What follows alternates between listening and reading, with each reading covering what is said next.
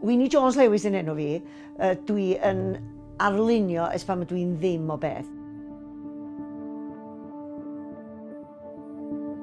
mi fydda i'n mynd am dro allan yn y wlad, cael fy ysbrydoli gyn gogoniant be mae Dyw wedi greu. Mae o erioed i fi, beth yn tynnu mewn llygad i, dim y castell neu'r plasty mawr, ond cartrefi y pobl cyffredin. Pan o'n i'n ogan fach, o'n i'n mynd rownd efo dad ar dan lefrith a i lawr y lonydd i Gamoga. Hwna sydd yn ysbrydoli fi, gweld y marc dynoliaeth. Ond eto mae natur yn cymryd yn ôl drosod ydy. Ydych chi'n gwybod? mae'n gwneud gwahaniaeth os dwi i ddim wedi bod allan efo sketchbook. Mae'n ffeindio fy ysbryd i mynd yn isel, da chi'n gwybod?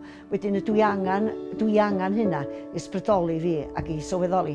Dwi ond mor gricyn ar y ddear. I ddweud y gwir chi, a mae hwnna'n yn gymorth i fi yn ysbrydol ac yn feddyliol i fynd allan i byd natur a cael fy ysbrydoli. Fy ysbrydoliaeth cyntaf fi oedd Miss Griffith, oedd yr athrawes fi yn Ysgol Morfa Nefyn a mi mi o hi'n anogi fi ar lunio.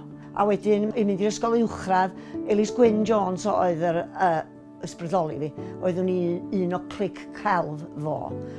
Wedyn, a fe sy'n hoffodus mynd i wneud cwrs sylfaen celf yn Lerpwl, a John Bohm oedd y tiwtor. Hogyn arall lleol oedd yn un o cyn ddisgyblion Elis Gwyn, a wedyn oedd o'n gweithio chi'n gala, de. Felly, oedd o'r blwyddyn gorau, a mi ddeud, o'n mywyd i, cos oeddach chi yn O, oeddwn i'n boddi fy hun yn, yn celf, don, da chi'n gwybod?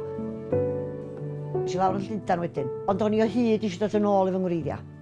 Dyna be oedd y pwrpas, dyna be oedd yn, o'n i'n anelian pan o'n i'n mynd i coleg. Dwi'n dod yn ôl i Morfan Ifyn, neu i Pen Llun, awn i ddeud, i Pen Llun, dio. Dwi ar fi'n ymddeol, oedd ar y siop, dwi'n dwi efo uned yna fo a wedyn mi ga ganolbwyntio mwy ar y celf wedyn. Dwi'n edrach yna fo wan post-Covid na orio môn ydy fy kickstart eto fi wan a wedyn mi ga amser wedyn mi na i roed fy, chi fy prif ddyletswydd fi fi wedyn fydd fy nghelf. A mae hwnna'n bwydo yn unai, dydych chi'n gwybod? Yr oll y rhai ofyn ydy bod pobl yn mwynhau gweld yng ngwaith i fyny yn Oriel Môn a bod, nhw, bod yng ngwaith i'n siarad efo nhw. E, I fi, cyswllt ysbrydol ydy y e, gwaith celf. A um, dwi yn wir obeithio bod pobl yn mynd i gael plesar yn edrych yn y waith i. Gobeithio prynu hefyd, a'ch chi'n gwybod? Ond dwi yn ddiolchgar iawn, iawn i Nicola yn Oriel Môn. Dwi yn ddiolchgar iawn pan mae rhywun pa mae o'n ymwneud cyswllt efo'r efo darlun, ydych chi'n gwybod? Mae hwnna'n um, rhywbeth um, i fod yn ddiolchgar am de.